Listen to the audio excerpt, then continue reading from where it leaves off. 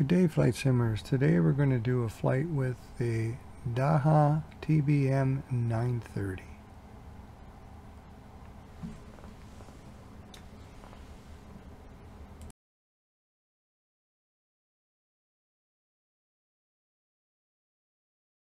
So we're going to fly today from Liverpool in Nova Scotia, Charlie Yankee Alpha Uniform to Yarmouth, Charlie Yankee Quebec, India.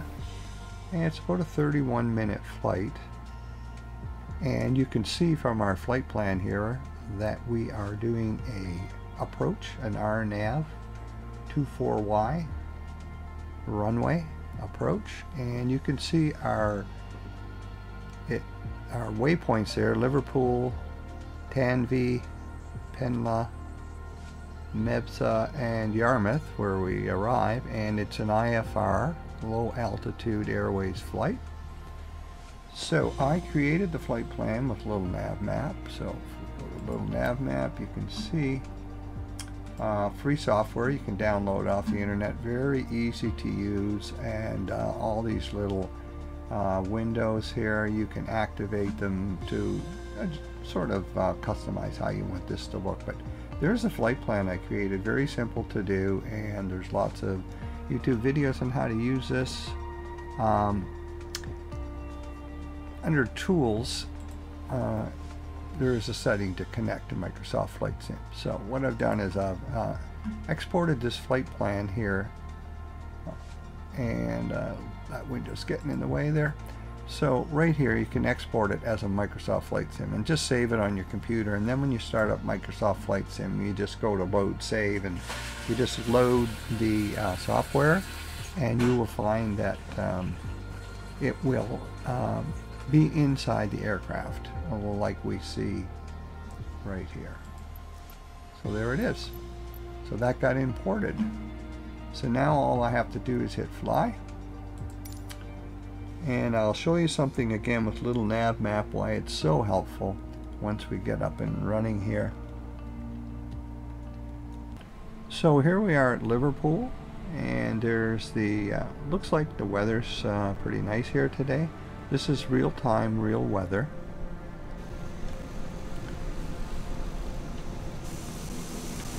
So there's our aircraft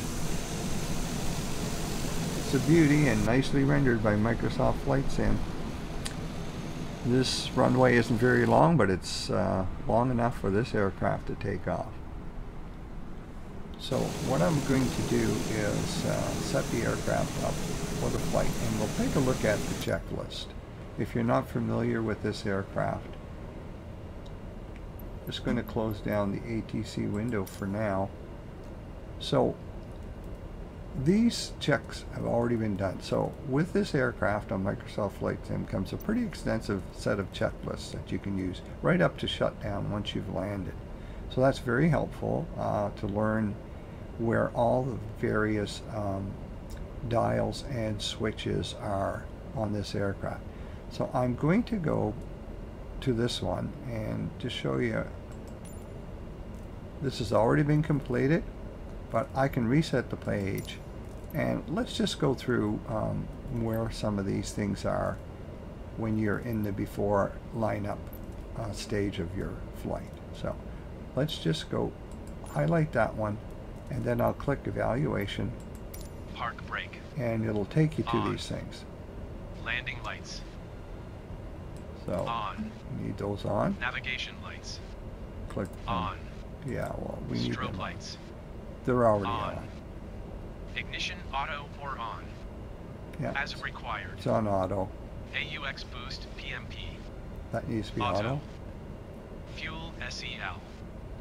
Got auto. it. Auto. Device check. System. As, As required. required. Check.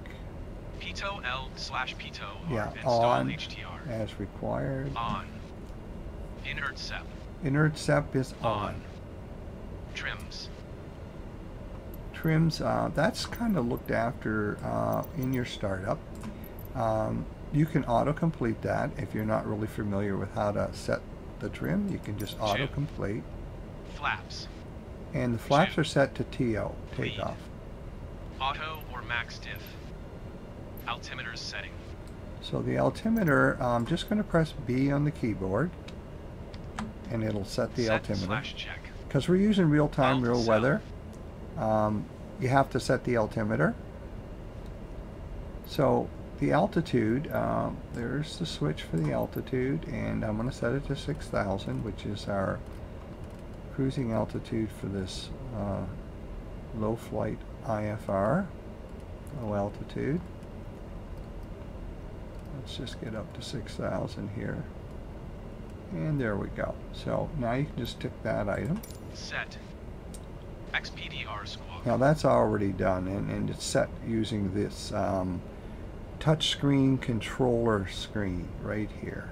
So if you go into that, you'll be able to get to that. And uh, I'm not going to go into that right now. You can play around with that, but that's automatically done for you. So tick item.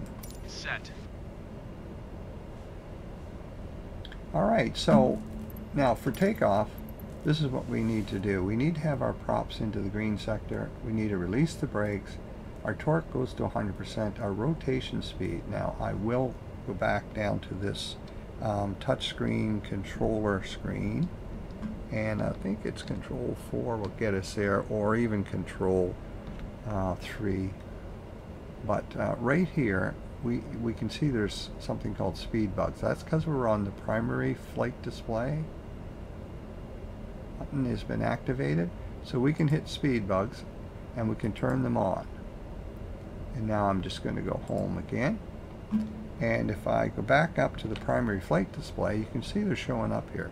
So this is helpful for our uh, stall speed, our climb speed, um, our approach speed, our rotation speed. So um, it'll give you an idea. Now you will get a stall warning with this aircraft if you're you are going too slow. So here on our primary flight display we have a speed indicator. It's going to tell us uh, our indicated airspeed. And then we have an altitude uh, indicator. So on that we're going to see um, the altitude we have set and the altitude we actually are. Right now 320 uh, feet above sea level. That's because we set the barometric pressure. So here we see um, our, our first waypoint that we're headed to. And right now I have wind data turned on. Now these are all soft keys and you can do different things like play around with your map where you want it, the type of map. You can move it over to here, um, traffic, etc. Now here's where you set your active nav. So if I click on here, you can see it's picked up the localizer. Here is localizer 2 if you have that programmed into nav. And here it's flight management system. So I'm just going to close this down for a second and go back to this screen right here, which is your touch screen controller. And uh, if I want to uh, set the nav frequency, let, if you were doing an ILS, which we are not, but I will show you how to get to that. If you hit nav com, you can see here's your com settings to set up your com, and there's your transponder already entered for you. And if you want to send out an identification thing, you can also click on that. And here's your uh, radios. So here's your nav1 frequency if you were doing a nav1. So you can change your comms and you can change your nav1 and nav2 frequencies if you're doing VOR or if you're doing an ILS approach and landing. So you would just click on that and, uh, and change it. So we're not going to have to do that, but that's how you do it. I think some of you are familiar with that. I'm going to go back and go back to the home screen. And, um, and I'll show you that that was how you could change this to your active nav. So go back here. And you see this source here? Uh, that was what I changed there. You can also do it from here. You can do some of the functions for your primary flight display from there. This is your multifunctional screen. So I'm just going to go up, take a look at that. So once again, Control 1 will give you uh, this view uh, right there. I'm just going to straighten that out a bit with my mouse. Control 2 will give you your multifunctional display screen. So we're going to be watching this and we are going to be um, looking at our torque, our props, our NG, uh, and make sure that everything is looking fine. Right now we haven't uh, gone uh, full throttle for takeoff, so these are just in the proper positions. This is your um, interturbine temperature gauges. So that'll tell you you don't want to get into the red. It get, uh, it'll overheat the internal turbines and can do some damage. So there's your oil pressure, your oil temperature, and here we see brake, and now inert sep is on, and you saw that down below there, that right there. So I'm going to go back to here again, and inert sep is um, sort of a, a separator that um, activates when you have that on. And if anything is ingested into the turbine on takeoff, it will deflect it away from the turbine blades. So, you know, like a bird or stones or any debris, chunks of rubber, anything it might ingest. Also, if you're flying in icing conditions and you turn on your de-ice system and chunks of ice are breaking off, uh, they also could get ingested and um, and damage the turbines. So that's when you'd have it on. So for takeoff and landings, mainly when you have that on.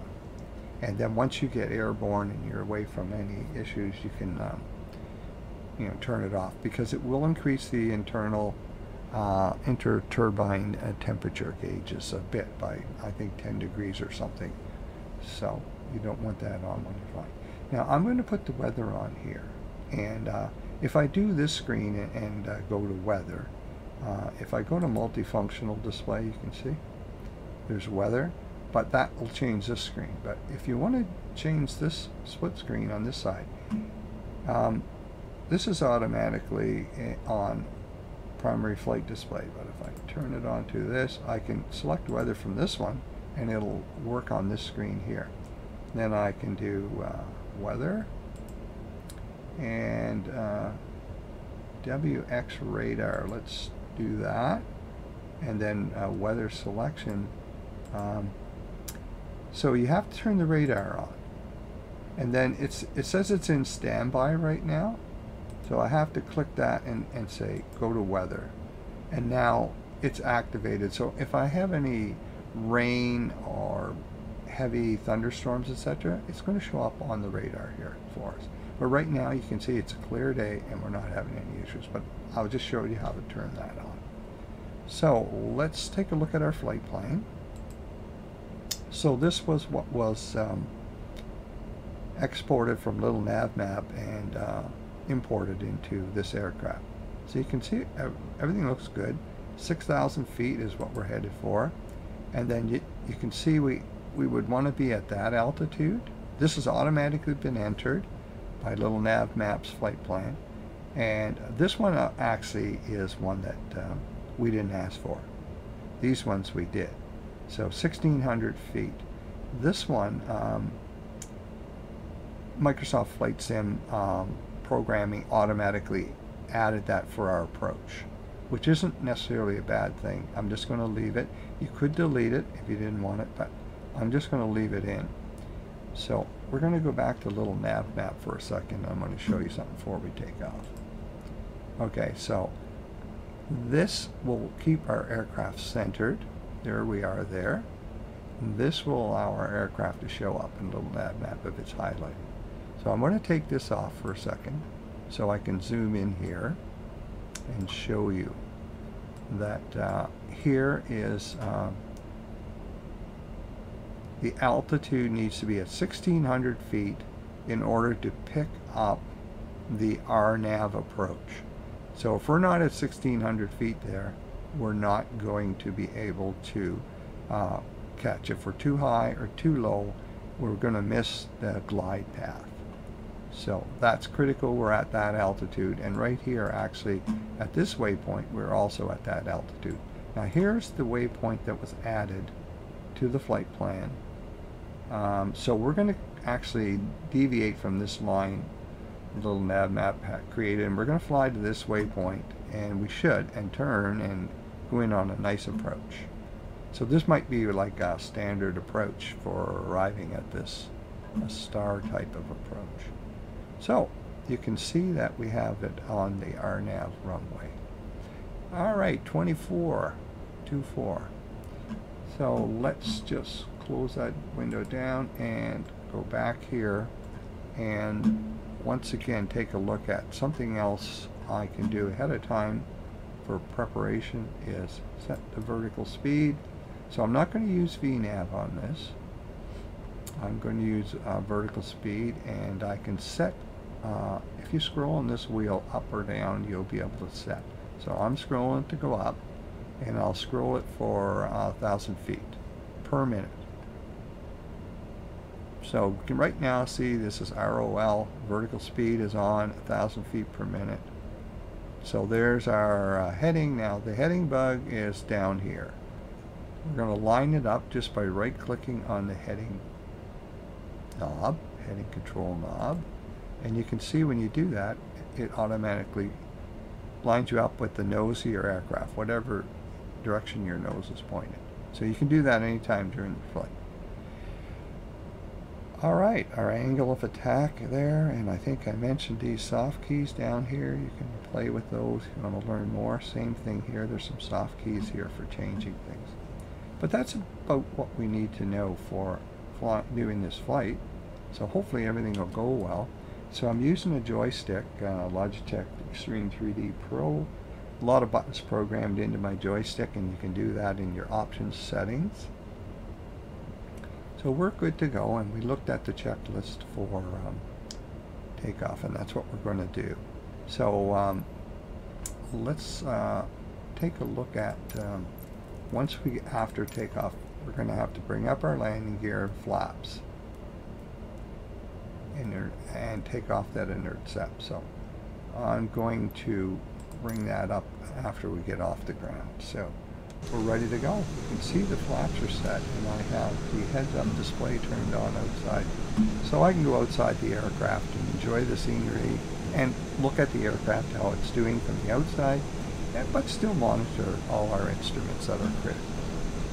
So I have to release the parking brake and uh, that is done. Um, let's see, the parking brake's underneath there, but um, you can press Control Delete on your keyboard. Let me just uh, go here. Um, control 3 or Control 4. Uh, there's a parking brake right there. So I'm going to press Control. I can click on that, but I'm going to press Control Delete and you'll see. There we go. Okay, so Control 1 and then let me get uh, back to a decent view out that window. There we go. So we're all set to go here.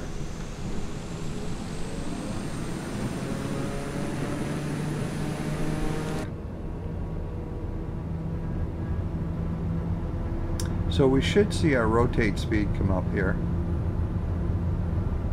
at 90. So when we hit 90, I'm just going to gently pull back right now, lift off, gentle climb. Now I'll go outside and I'll show you um, what it looks like. And I'm going to hit G on my keyboard, Gulf, G for Gulf. And here, landing gear is coming up, and now I'm just going to use my joystick to bring up the flaps. You could go inside the aircraft and do it with your mouse. So now what I need to do is go to this automatic flight control system, turn on the autopilot, the yaw damper came on. Sometimes it doesn't. If it doesn't, turn it on or you'll get a warning. So you can see we've got nav turned on now. And uh, the autopilot and the flight director are now controlling our flight. We've got a master warning here, and it's probably because inter-turbine temperature gauges got too high. So that's just a nice reminder to turn this off. It'll help uh, with the temperature on those. So let's take a look at our checklist after. So, landing gear up, check. Flaps up, check. Torque looks okay. The information's right here. De-ice required. Inert SEP as required. So let's just see uh, what flight level we're at here.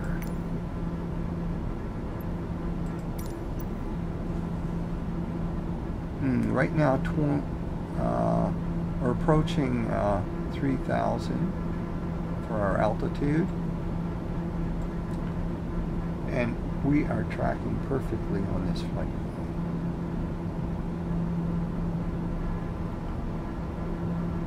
So watch your speed. You know, this, this very powerful little aircraft. So just going to go outside. Just going to go outside here. Let you have a look at the aircraft and see how beautiful it's rendered by Microsoft Flight Sim. So there's our exhaust. There's our air intake from turbine. So that's where you might ingest something which could do some damage to the engine. So that's what I was talking about. Uh, we've got pitots out here, uh, little instruments that uh, send uh, sensory data to the inside of the aircraft flight management control system to uh, let us know what our speed is, our altitude, angle of attack, etc. Which, so it uh, depends on the aircraft system. There's the beautiful TBM 930. Got the little uh, wingtips flared up. That helps uh, save fuel. It's a nice design feature that the King Air has as well. So this thing can really flip along. See we're easily just uh, cruising along at 200 knots and our true airspeed is 232 knots. And that's our indicated airspeed. There's our altitude, which we are rapidly approaching. Trim is automatically controlled by the autopilot So, nice day. Um, I don't know if we're going to see any weather here. Let's have a look inside. Yeah, so at our altitude, like uh, straight ahead of us, we don't have any issues here. So these little bars will tell you if there's light rain, moderate to heavy. So we've got clouds but no rain. So nice day for a flight. And this is Nova Scotia, beautiful. Many, many lakes in Nova Scotia. And if you want to know the name of that lake, you just go to nav map and you can see we. I'm going to turn this on again to center the aircraft. And there's some data about the aircraft right there. So that's the nice thing about nav map. See, it's telling you about your aircraft. Um, telling you the title. The airline is Nazair, which I've named. There's our flight number, which I've given. There's our transponder code. There's the type of aircraft. Registration is GC930. I just set that myself. There's your model, wingspan. So, you know, it's really uh, a great little program. So, you can turn that on and off using that. Now, this will send you your aircraft. So, there we are. And if you want to look at your elevation, there you go. So you can zoom in and zoom out, and you can also drag it. So you can see we need to be at 1,600 feet here. There's our top of the sand. And we still have to be at 1,600 feet here as well. Altitude. And, and it even gives sort of this, the speeds here. 180 knots.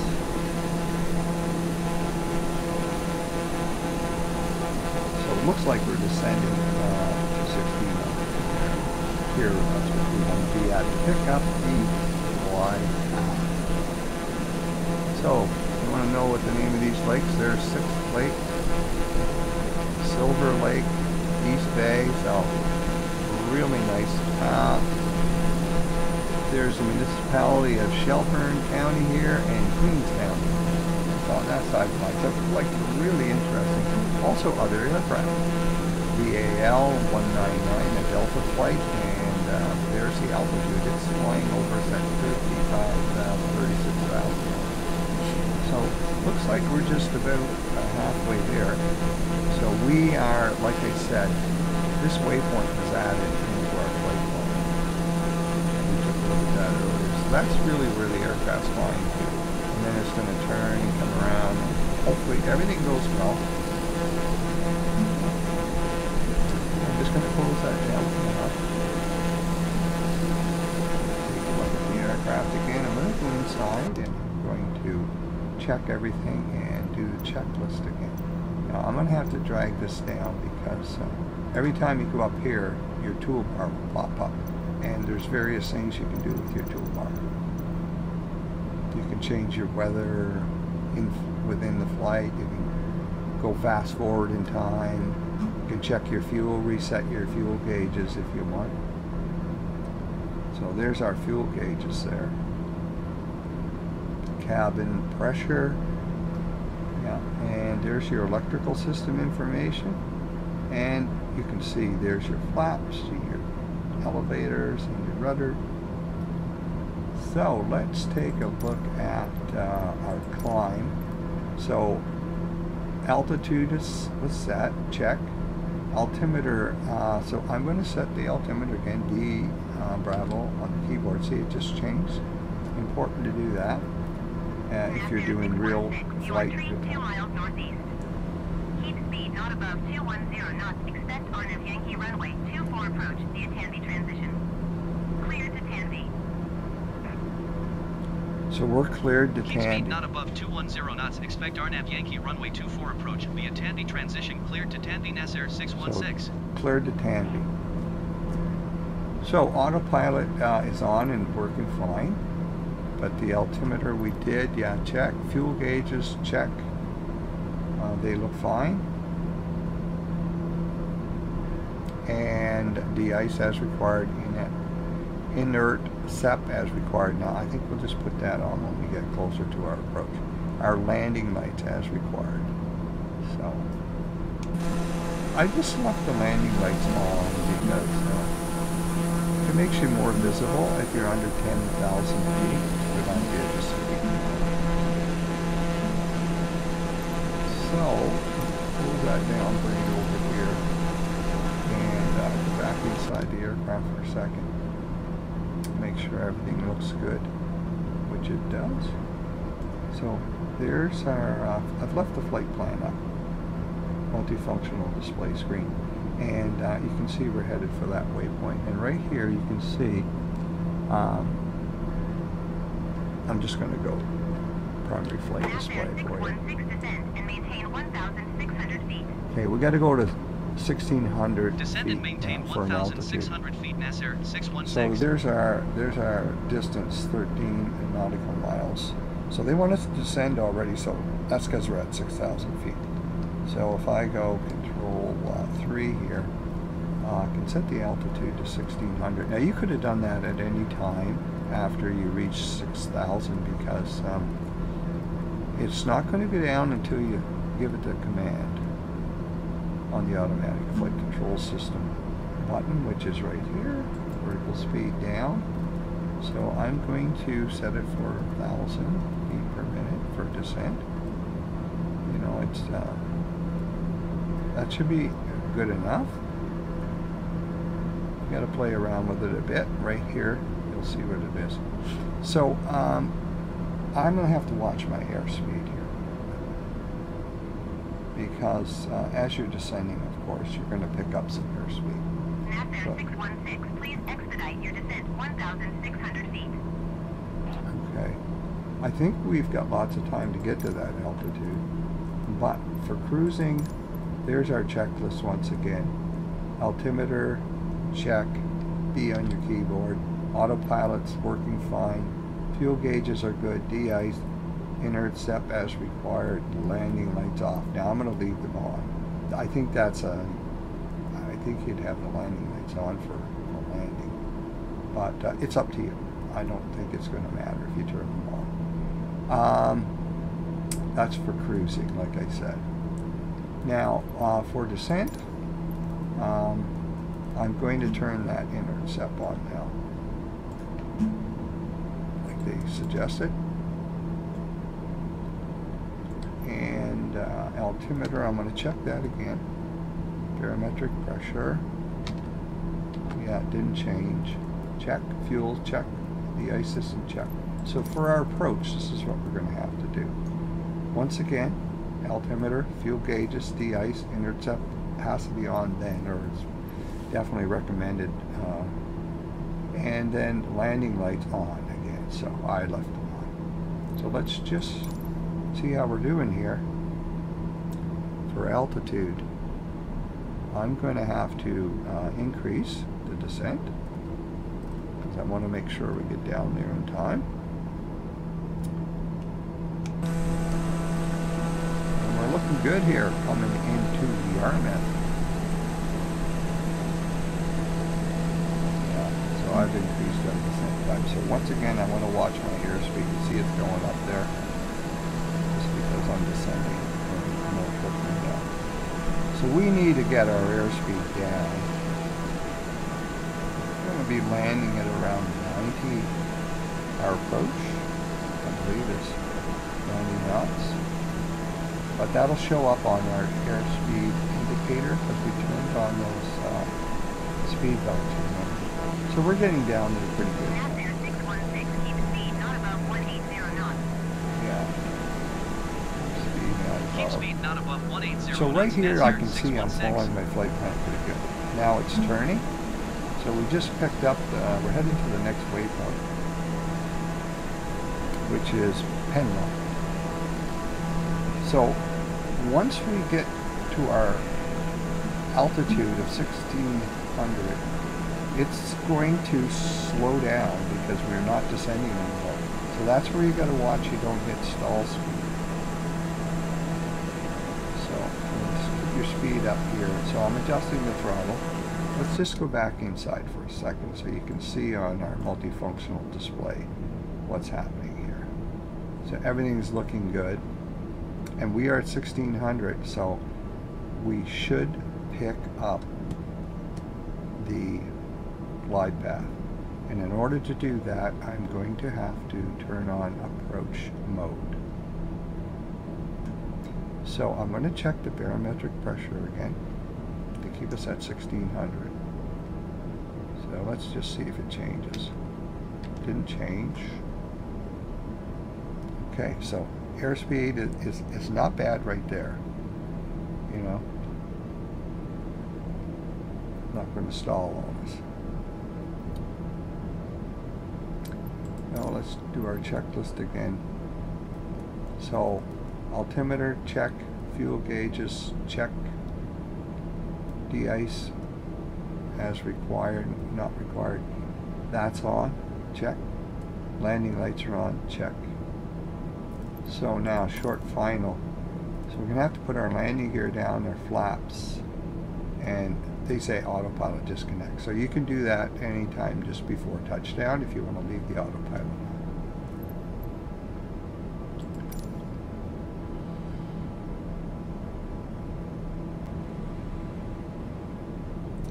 So once we make the turn here, I am going to uh, put on approach. Now you're not going to see localizer, LOC, and you're not going to switch it to that. That would be for an ILS One, one land. mile northeast of Charlie Yankee, Quebec, India.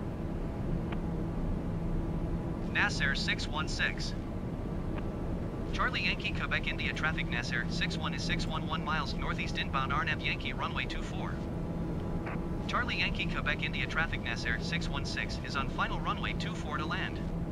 Okay, so I'm going to put down the landing gear and the flaps now, and you've got to watch your airspeed because once you do that, you're going to have some uh, drag created and it'll slow the aircraft. So I'm going to put down the landing gear. you should be in this uh, white zone to do it, more or less. So you don't damage the aircraft. So just press G on your keyboard, belt, G belt, and then your flaps, you can do that with your keyboard, or inside the aircraft with your mouse, or just using your joystick. So we got the flaps down, and now. The aircraft is turning, so now I have to hit approach and see what happens. You saw right as soon as I did that, this magenta G came up. If that was an ILS approach, that would be in green. And then we have this in white, GP, glide path in white. And if that turns green, it means we've picked up the glide path. And we will start descending. If it doesn't, for some reason, because it can be temperamental if you don't hit that right on, um, you're just going to have to take it off autopilot and land it the plane yourself. Uh, but you'll be close enough you'll be able to do it. But I'm watching my airspeed now because down a little bit there. So, so I need to be around 90 for approach, 85. Let me have a look and see what we got here. I'm going to get behind so you can see the aircraft. How it's doing. So this uh, little diamond here should start dropping, this magenta diamond. And when it gets to there is when we're going to pick it up. And I believe that should happen right here. And if it doesn't, then uh, this a little glitch. Check the barometric pressure again.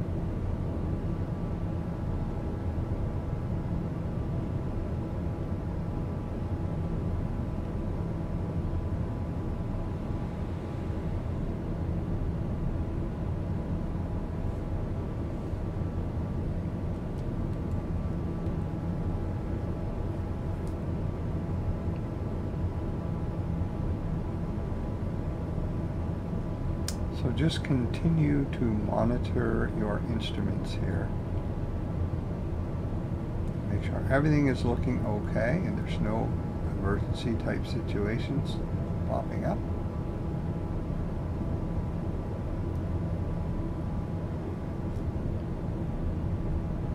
Watch your airspeed, so you know I have to get it down. So you see right here, that magenta diamond is just hit there.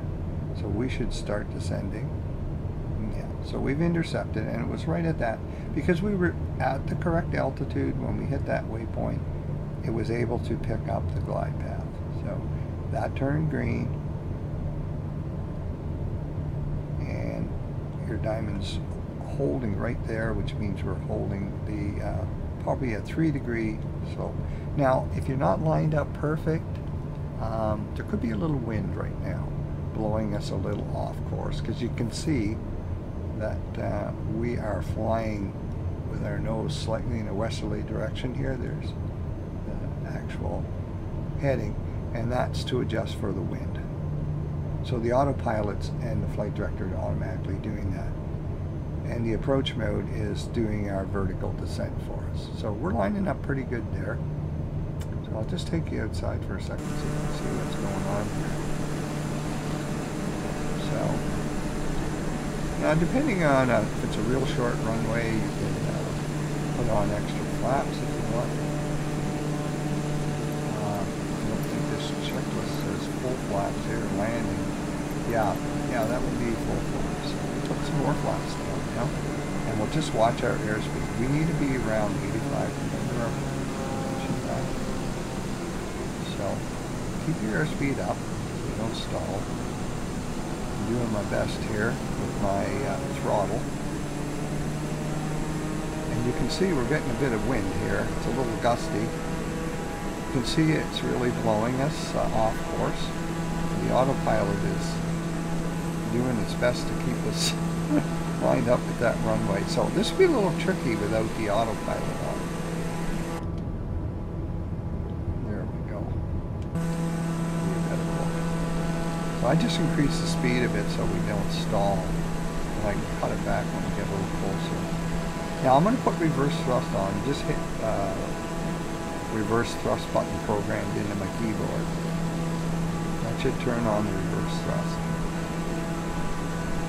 now I'm going to reduce my speed. So you see as we get a little bit closer, uh, it's easier for autopilot to line us up. So I'm going to get the speed down and I'm going to take the autopilot off now. And just pull up gently so we have a nice soft landing here.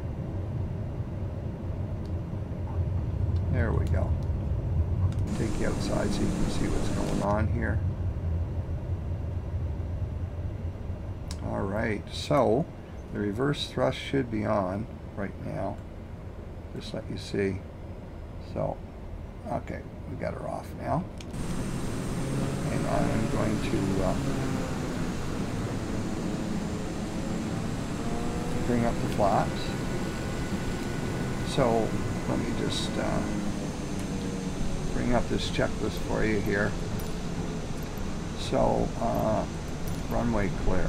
So taxi lights on, etc. So um, navigation lights off, strobe lights. So we'll go through that. But uh, what we need to do is uh, turn around, I think, and go back here. I'm going to try, and I might have to go on to grass again here.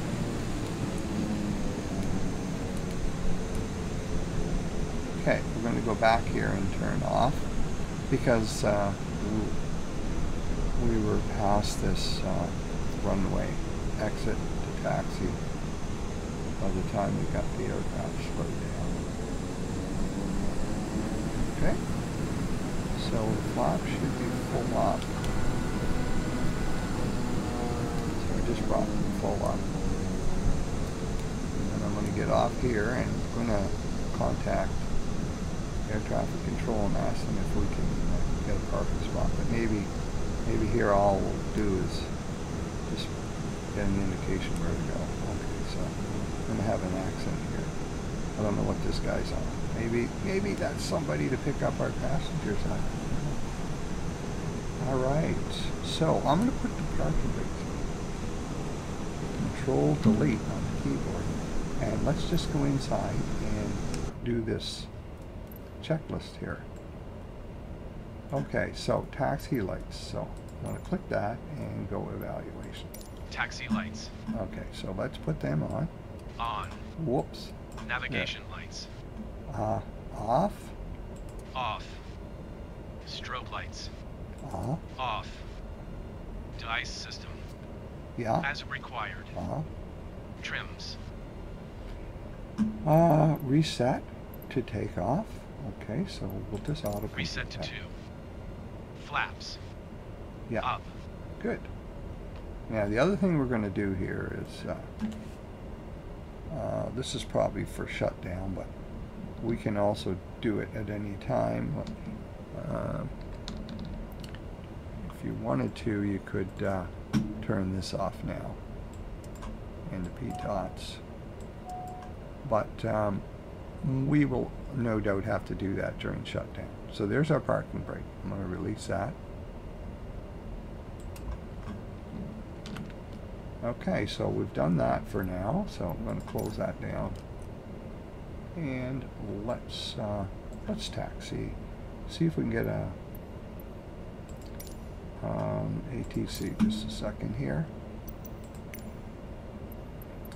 Um, announce clear of runway. Charlie Yankee Quebec India traffic Nasser 616 is clear of the runway.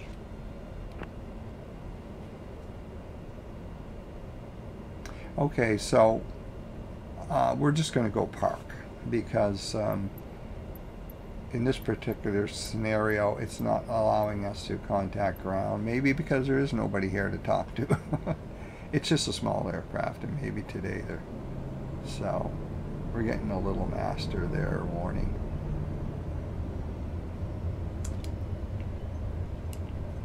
So we're just going to go up here and master caution, I should say. So uh, I don't have the parking brakes on, so I'm not sure why. So there's the fueling station there, so.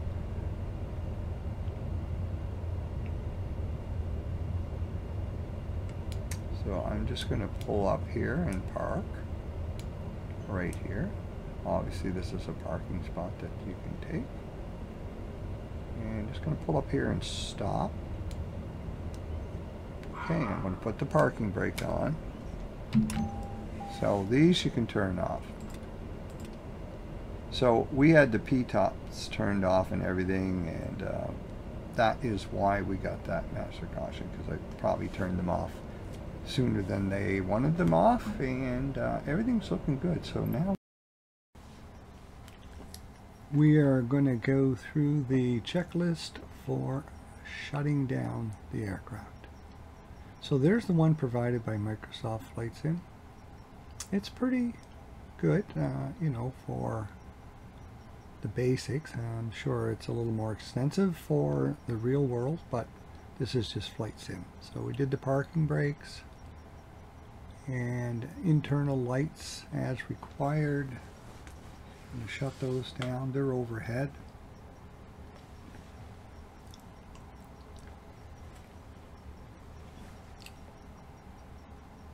So just shutting down some overhead lights right now. And checking things off.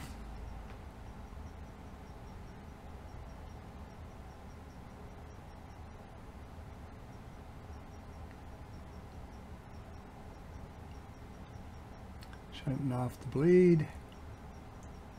And then the throttles. Um, you can auto-complete this if you find it a little bit tricky to try and get that uh, throttle lever over into the feather or fuel shut off position. You have to hold your right mouse button down and grab it and pull it over.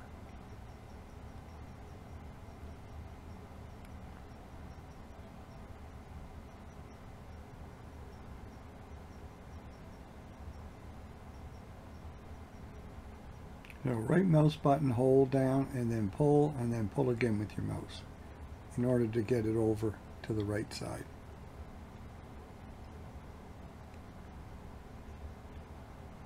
Auxiliary boost pump off.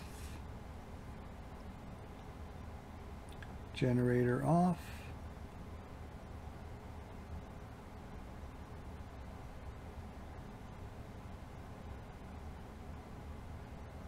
inert sep off.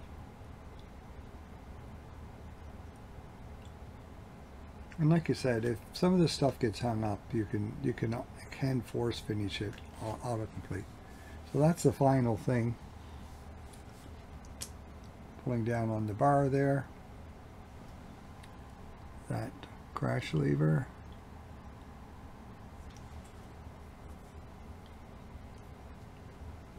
So, thank you very much for joining me. Uh, we're going to take a look at opening the doors on this aircraft if you haven't done it before. There's only a door on the captain side and the passenger side door behind the captain's door. So the co-pilot, there's no door on that side. So you're going to have to go down here and uh, click on the open door button to the right there of the handle.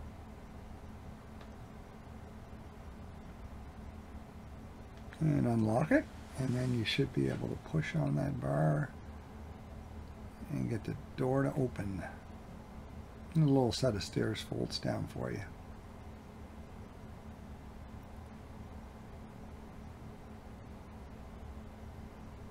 Here's a little exterior view.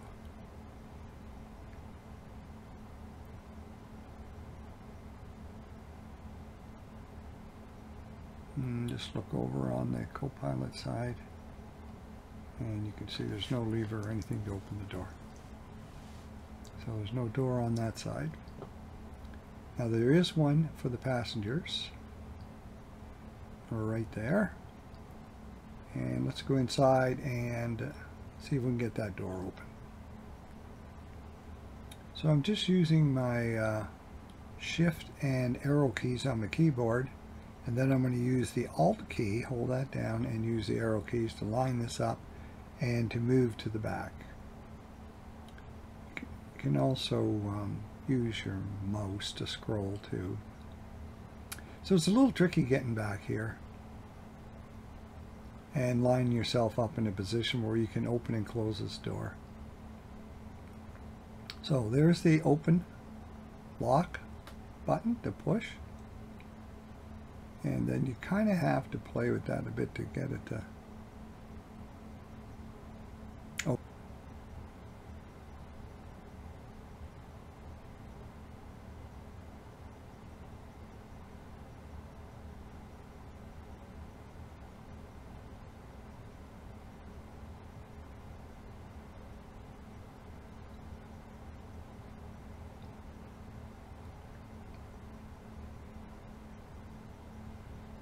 Alright, so it's a little tricky getting that open. Uh, you have to be lined up pretty good. The handle doesn't really cooperate very well with the mouse button.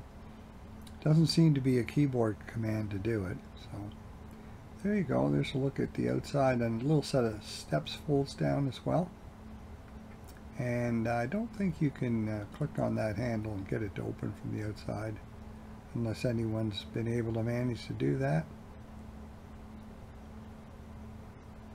That button doesn't seem to be operable, like you push that button uh, to close the door, but I don't think that's uh, programmed in.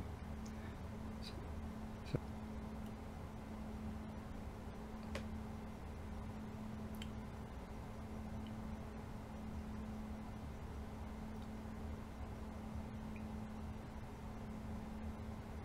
so there you go, I flicked the handle and it uh, closed the door. So it's a little tricky uh, getting it closed. The other one at the front you'd close the same way, but uh, it automatically closed itself when I went to the back, so not an issue. Just going to lock it now. There we go.